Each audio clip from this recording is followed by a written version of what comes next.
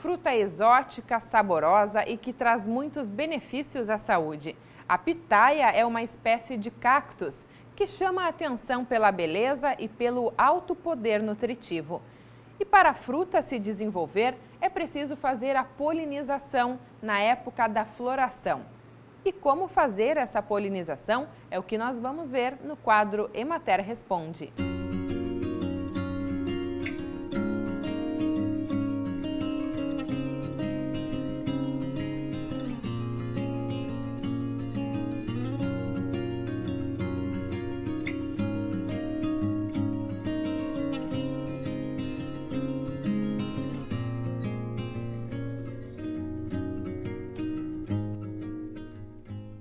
Emater Responde de hoje veio até a cidade de Novo Hamburgo, na localidade de Lomba Grande, no sítio Nova Terra, para responder a dúvida técnica da nossa telespectadora de Caxias do Sul, a senhora Jane Rossato.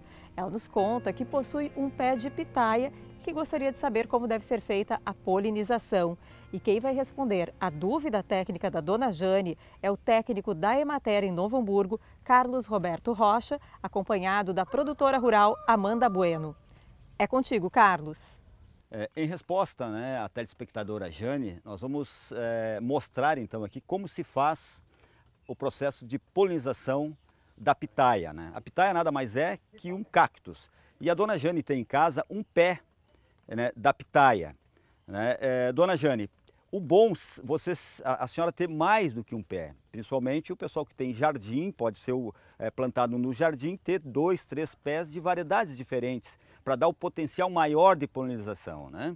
Então nós vamos mostrar aqui como nós fizemos a polinização manual, nós temos vários tipos de polinização, mas esse que a gente vai fazer, que é no seu caso, pode se fazer com a mão mesmo, né? fazendo a polinização, fazendo a troca né? de pólen de uma planta para outra planta ou de uma flor para outra flor. A, a pitaia, que nós conhecemos como a pitaia branca, ela tem um potencial maior e é a mais comumente, né, que é talvez a que, a, a que a senhora tenha na sua casa. A que nós vamos fazer é a pitaia pink, colorida, né, que ela tem outro processo, então, de polinização um pouquinho mais complicado. A branca, você pode tirar uma, do mesmo pé, pode tirar uma flor do mesmo pé, tendo duas flores, para poder fazer esse cruzamento para fazer a polinização. E aqui nós temos um, um, um, pomar aí de pitaia, né, que foi plantado o ano passado e nós já temos em produção e também já com o processo né, de, de, abertura né, da, das plantas. As plantas elas aqui na nossa região, elas têm o, o processo né, é, desenvolvimento da flor. Esse ano deu em janeiro, nós fizemos a polinização em janeiro, estamos com fruto agora. E agora, em fevereiro, é outro período de eh, floração dessas plantas. Nós vamos mostrar então a nossa produtora aqui, que tem um, um pomar aqui de pitaia, e para vocês terem um, um, uma noção, é um pomar orgânico, já nós estamos com a certificação de processo, é uma plantação é, é, é bem saudável, digamos assim, no processo de produção. Dona Jane, esse é um pé de pitaia de polpa colorida. O que nós fizemos para polinizar? Nós vamos pegar pólen, como eu vou mostrar aqui, só que de flores de pitaia de polpa branca. Nós viemos dentro da flor, passamos o dedo, tiramos o pólen e colocamos diretamente nessa partezinha da flor. Hoje, infelizmente, a gente está com ela úmida, né? O que não ocorre geralmente, porque esse, esse trabalho é feito à noite, porque o pólen está seco. Nós colocamos aqui, exatamente nessa partezinha da flor. Eu particularmente fecho, porque eu tenho controle de número de flores que eu estou fazendo, porque aqui nós temos quase mil pés. E é feito o processo. Então, pólen de flores brancas polinizam as flores da pitaia colorida. Né? E aqui já é um processo de uma que foi polinizada, está secando a flor e formando o fruto. Em todo esse pé são frutos se formando. Né? E assim que nós fizemos a polinização da pitaia de polpa colorida.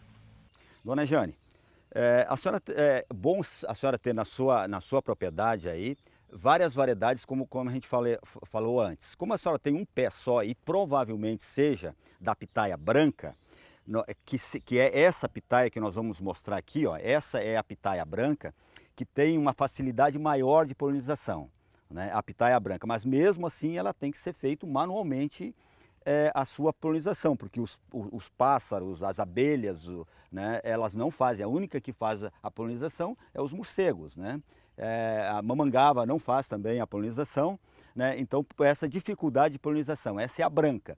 Nós temos também a outra variedade que seria interessante, então, a senhora ter na sua residência, né? no seu jardim, por exemplo, ter uma pitaia que nós chamamos da pitaia colorida, né? que vocês podem observar né, a senhora pode observar a cor dessa pitaia. Então, essa aqui, vocês podem fazer esse cruzamento com a, como a, a Amanda falou anteriormente na polinização, usando né, é, então o pólen da branca para fazer a polinização da vermelha. A senhora pode ter dois, três, quatro pés né, na sua propriedade, aí na sua residência.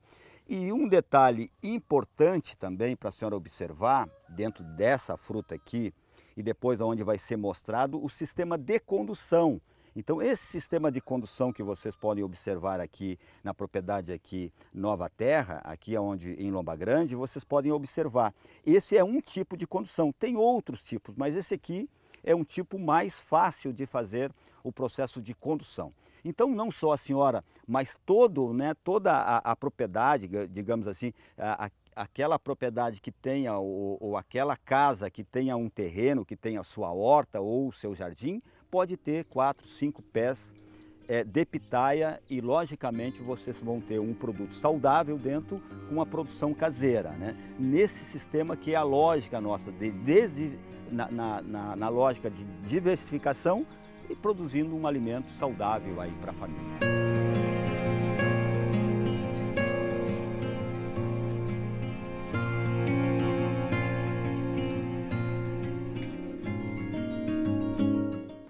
viticultura é uma atividade expressiva no estado. Em decorrência das alterações climáticas no ano passado, como o atraso do inverno, os produtores encontraram diferenças no desenvolvimento da cultura.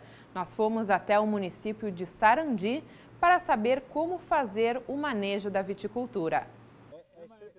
A cadeia produtiva da viticultura é extremamente importante na região norte do estado. Os municípios de Planalto, Alpestre, Ametista do Sul, Sarandi, entre outros, têm na atividade uma importante alternativa de geração de renda, que contribui para a sucessão familiar e qualidade de vida no meio rural.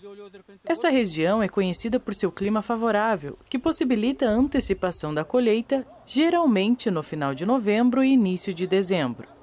Mas este ano, a cultura vem sofrendo alterações no seu desenvolvimento em decorrência do inverno que teve início tardio.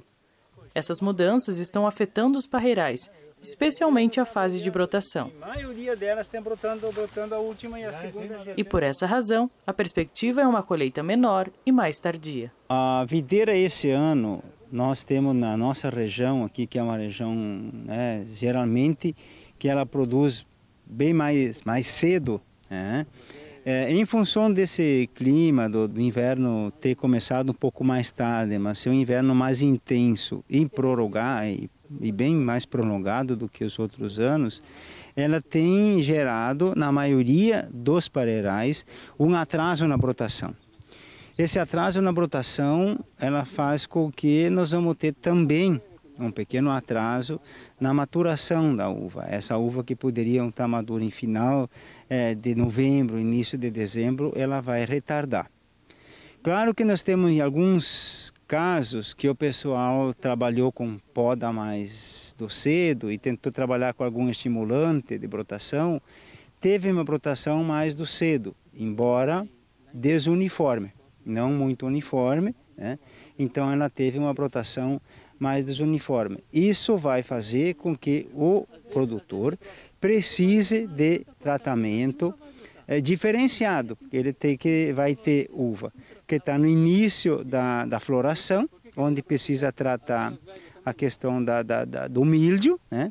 e tem outras uvas que estão ainda antes de, de entrar na brotação. Então vai ter um cuidado um pouco maior com tratamentos mais longos, principalmente no controle da, da, da, né, do tal de milho, que é aquilo que o agricultor chama de mufa, para evitar problemas futuros, porque o milho que entra agora, ele depois se manifesta lá na uva madura, dando problema de doença chamado negrão, que chamam, que é da queda prematura, começa a dar apodrecimento e que aí não tem controle dessa doença no final.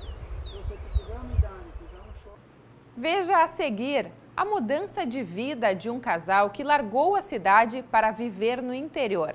Em Pareci Novo, eles produzem uma variedade de bergamota que leva o nome do município. É a bergamota Pareci. Nós já voltamos.